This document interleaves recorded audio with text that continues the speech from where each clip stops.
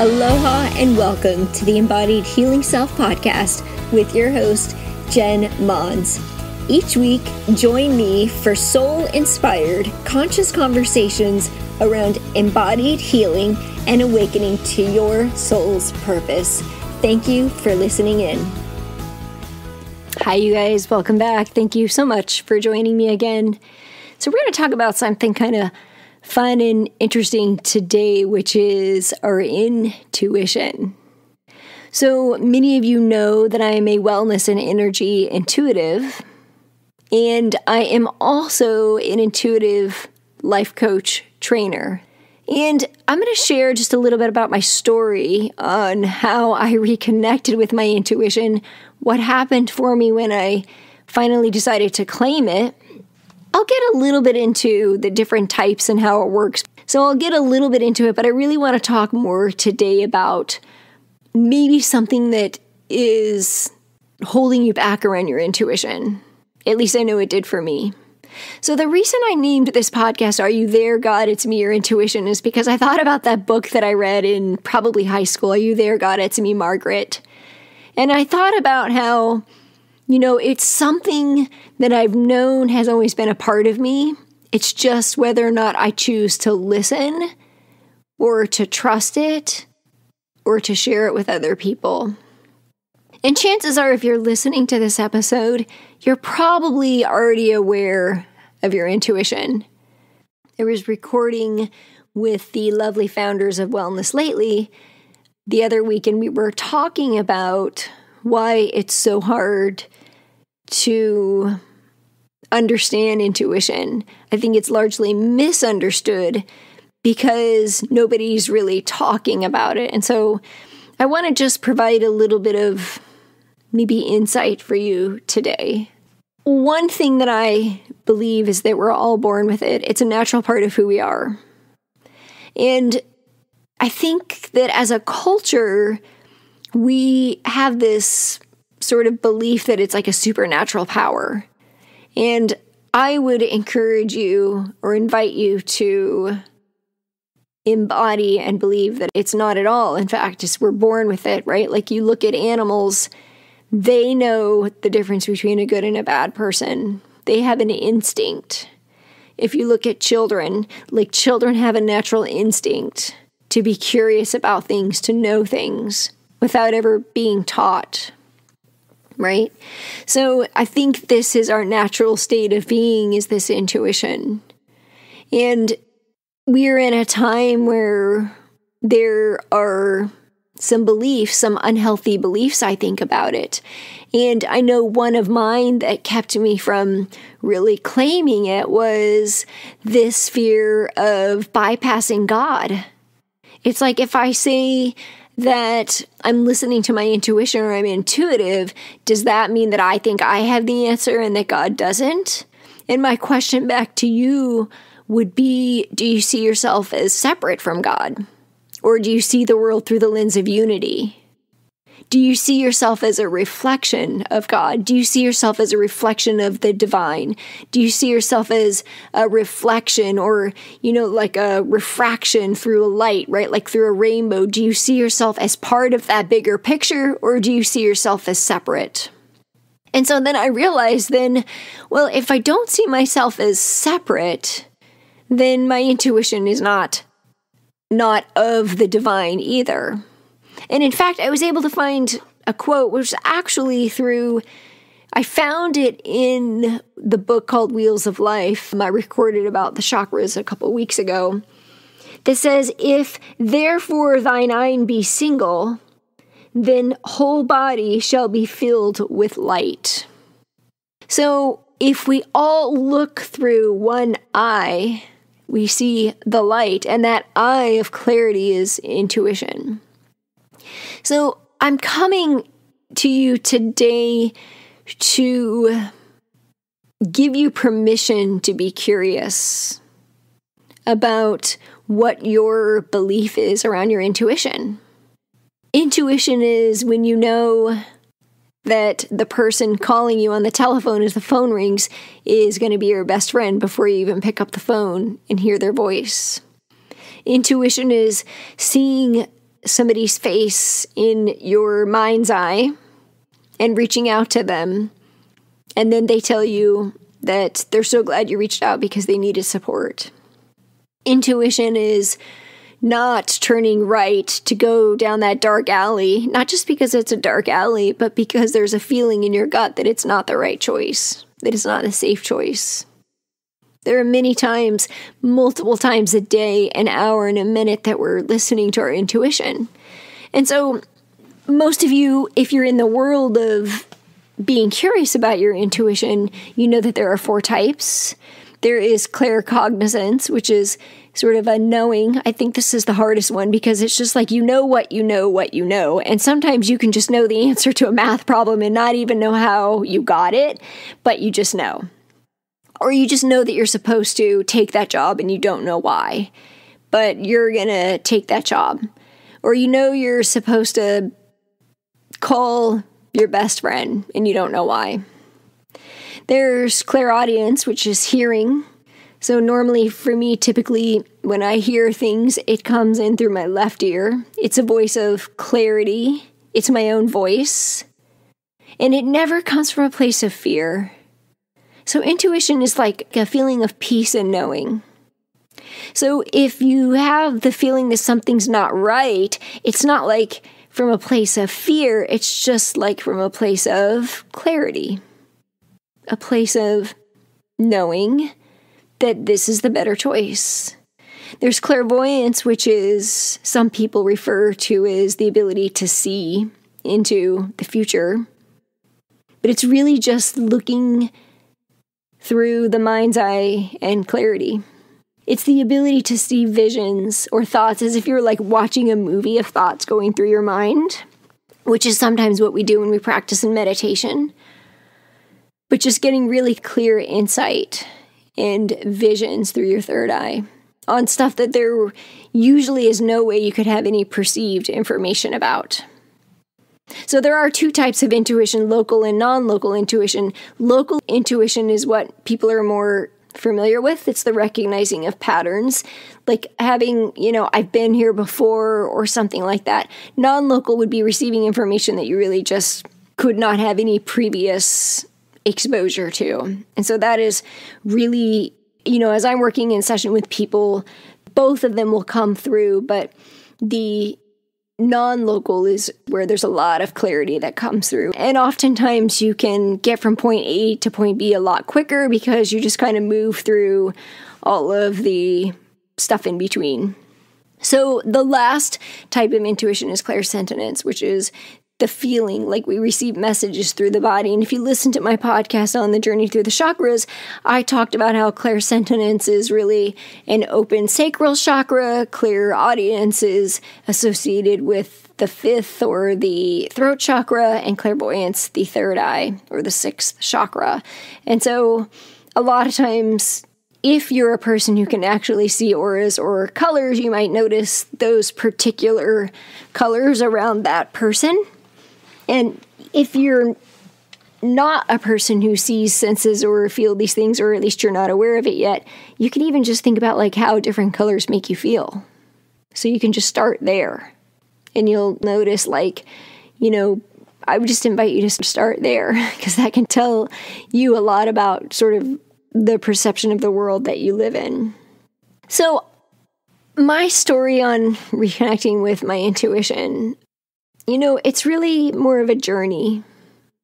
I can remember as a child hearing the words like, oh, you're too sensitive and you think you know everything. And those words like really stuck with me. And yes, I am sensitive and I do know a lot because I do have claircognizance and I don't know how I know what I know. And to be quite honest with you, I don't know that I would have been completely aware of it or embodied it if it hadn't been for my children. I became a mother and I started to see that they had these natural abilities to be aware through hearing, through seeing, through feeling to the world around them that was just a very natural part of their being.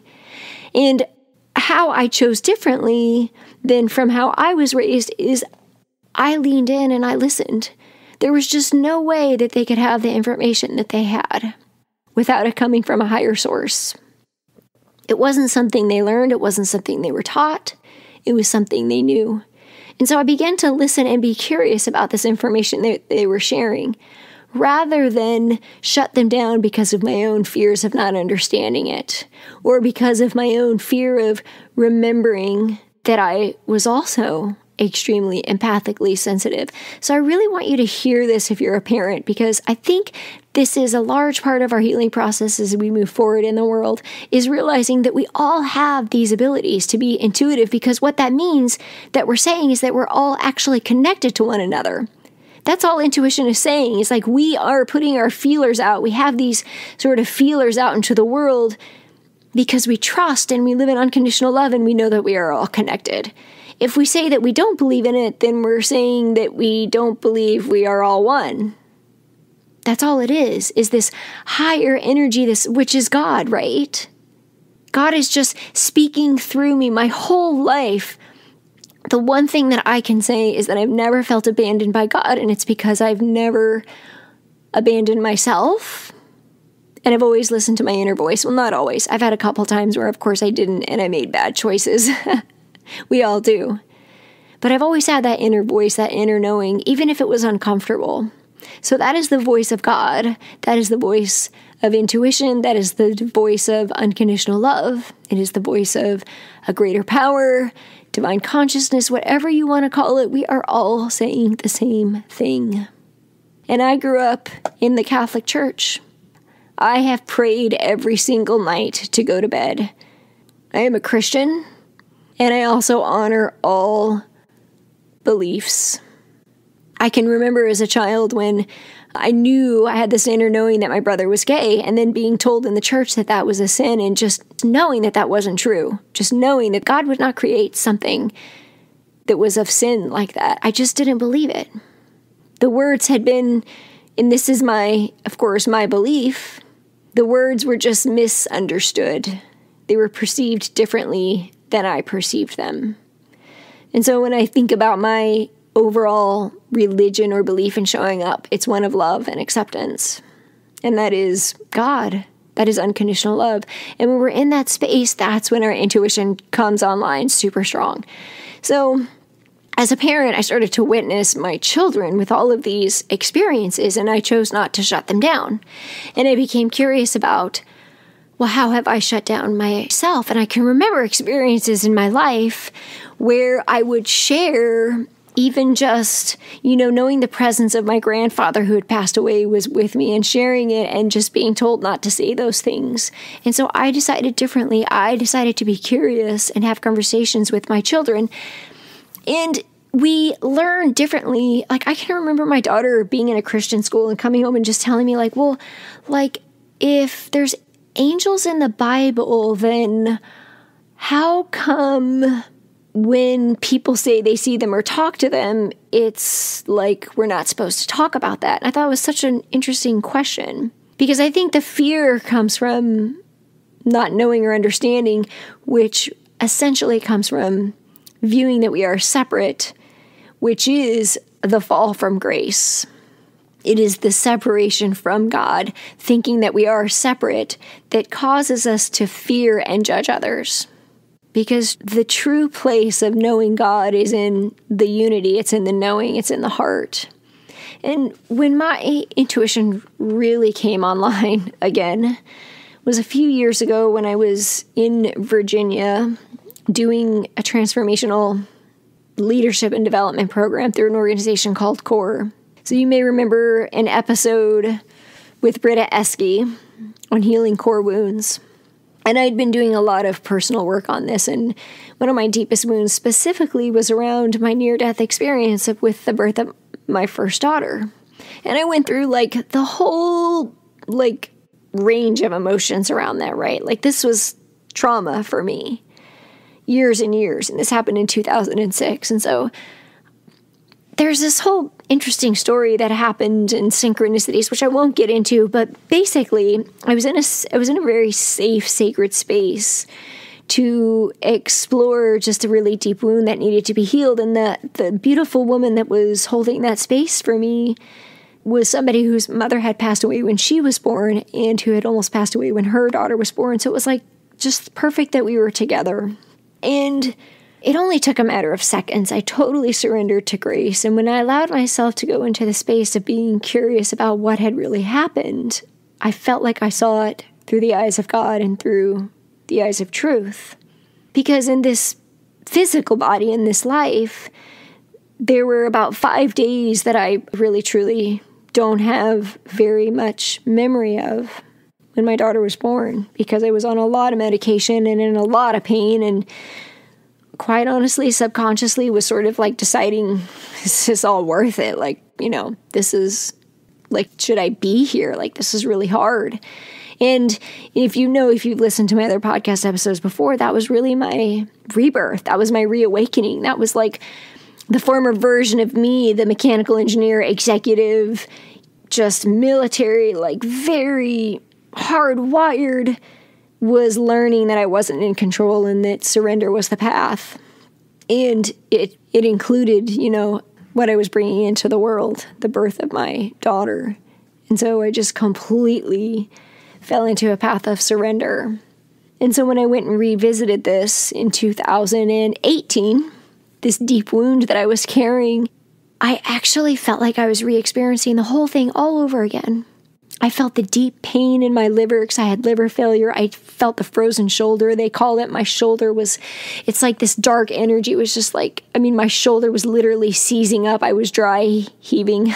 I know that this probably sounds terrible, but my point is, is that I allowed myself to have the full experience.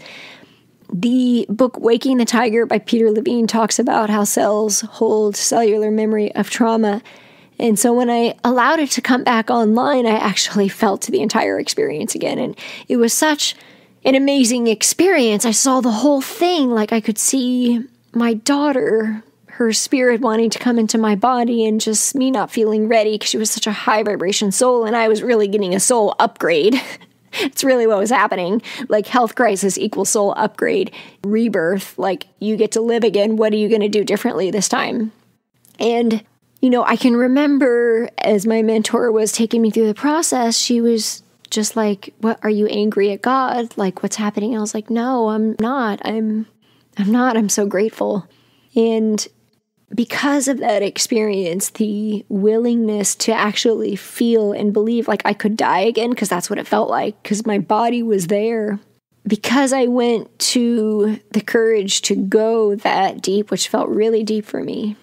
Like that opened up and brought back the sight, the clear sight, the clairvoyance, the intuition. It was really just in the surrender. And so, as I practice now, or as I live in the space of, and I still resist a lot of what I receive sometimes, so it's still a practice, I'm not totally there. But I realize that the truth that we receive through our intuition, it is God. It is truth, it is clarity, it is unconditional love. Intuition is never from a place of fear or hate or judgment. If you're ever feeling that, that's not your intuition, that's your ego. So it does come to you from unconditional love, and it comes when we're not trying. It comes from when we're most relaxed, and we just realize that it just is. We actually do live and exist as multidimensional beings, and it's just whether or not you allow yourself to see it or feel it or sense it. And most of us aren't. 99.9% of the people on this planet are walking around super numbed out you know, addicted to television or sugar or alcohol, coffee. We're choosing all these things to numb ourselves out. And there's no judgment on that. It's just that know that those are ways that we do numb out. So, and you know, we still have to exist in this human realm as well. So I totally get it. But if you're wondering, if you're listening, chances are you're probably aware of your intuition. This is just my invitation to you to realize that there's no separation between God and your intuition. It's the voice of love, it's the voice of truth, it's the voice of clarity. And so you're not cheating on God. There's a really deep wounding in our culture in this time around spirituality and versus religion. And I've had my own journey with this, right? I'd like really deep, and I'm still in it. I am still in it. I know what my truth is, I know who my ascended master is. I don't need to make anybody else wrong for theirs. I'm grateful for mine and my experience.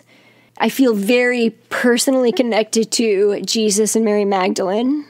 That is who comes through for me often. I do not feel that it is wrong for anybody else to receive information from any other ascended master. It's really just a space of just love and truth. And so that is what God is. Not female or male, not good or bad. It just is an energy of just truth and clarity and acceptance. And that is the space where we connect with our intuition. So I really wanted to just share that because I personally had such a deep wound around, you know, being raised religious, feeling like I was cheating on God or doing the wrong thing or, you know, there's just so many stories and such a deep wound and I've been to the Palace of Popes and I've been to Mary Magdalene's cave five years ago. Like, I've gone to these places and I haven't studied a whole lot about it, but I have my own inner knowing, which is what I trust the most. I've had my own visions and dreams and, you know, things that I've received. And then I'll go and look it up and I'll find synchronicities on, you know, a dream that I had and something that I read about. And I just want to offer that there has been information over time that has been misunderstood.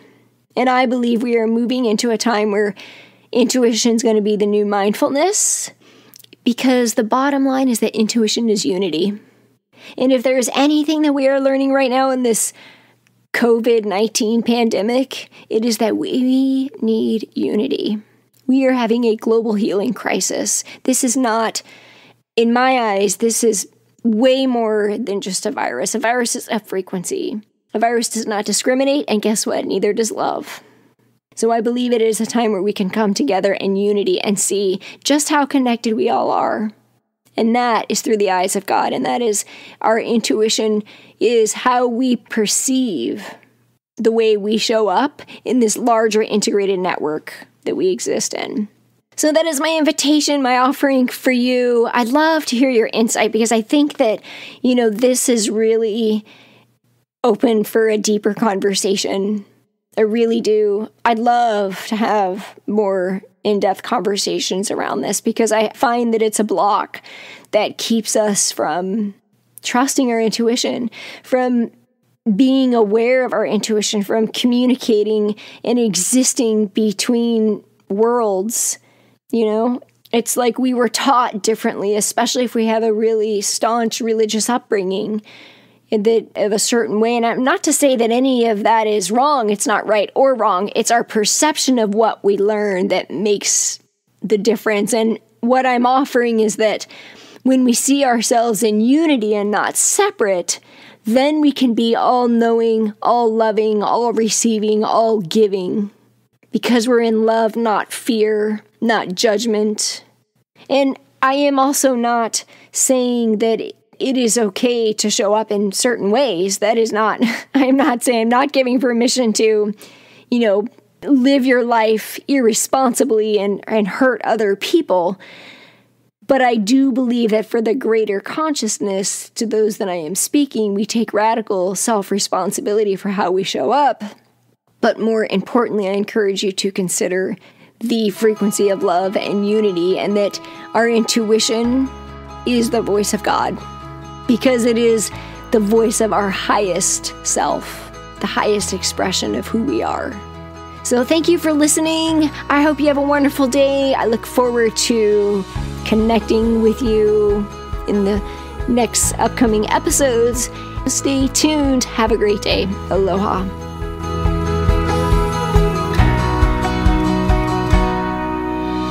Hello, friends, and thank you so much for joining me today and being a part of this community.